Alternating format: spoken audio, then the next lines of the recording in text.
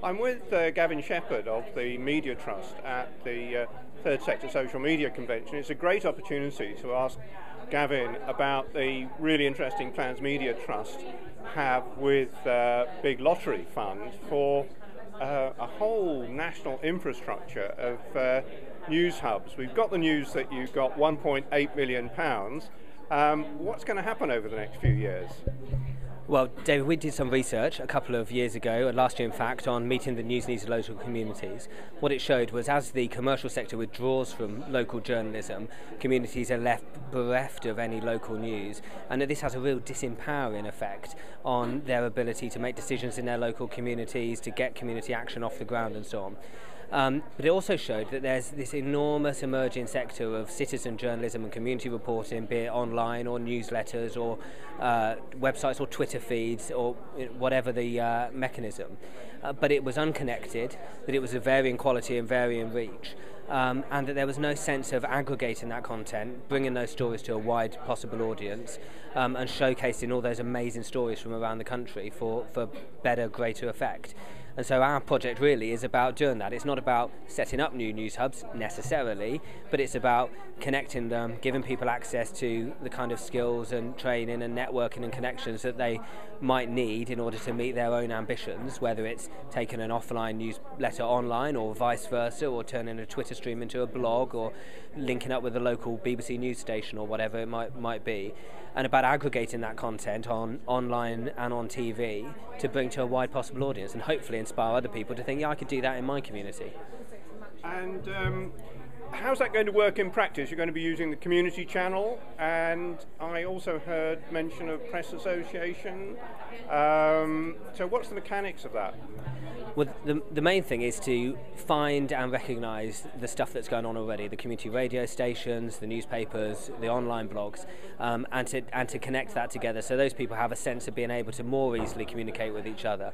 Then we want to give them direct access to be able to plug their news stories into the media mainframe. So it's an evolution of our community newswire, which has published 60,000 uh, local community and charity stories over the last few years.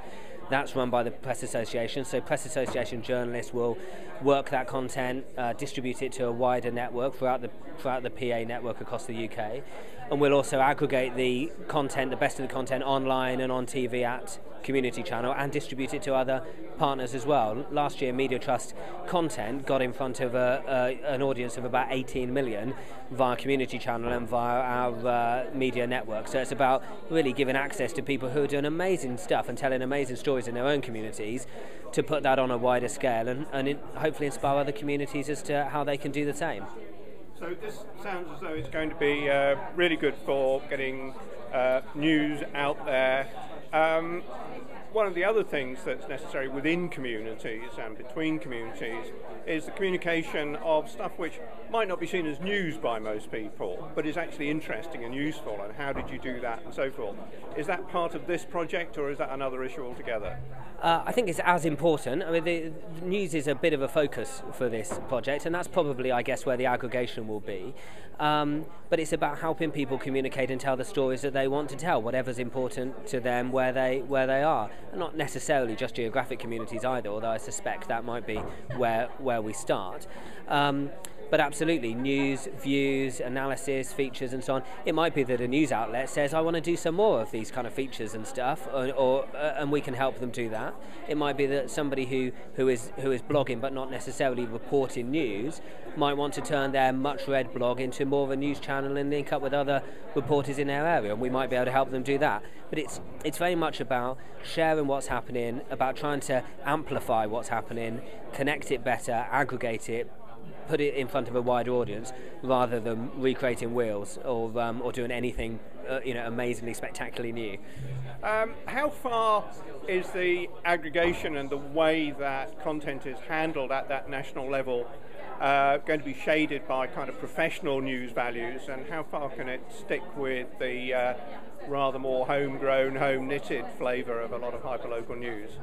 Uh, I think that the uh, homegrown flavour of hyperlocal news is part of its appeal. You know, the research showed that people want local views, um, but they do want a, a sense of uh, validation and they do want a sense of quality to that. So, what we'll be trying to do, I think, is is is put in some more mainstream media qualities into some of the local approach, but it's not about destroying uh, the local approach.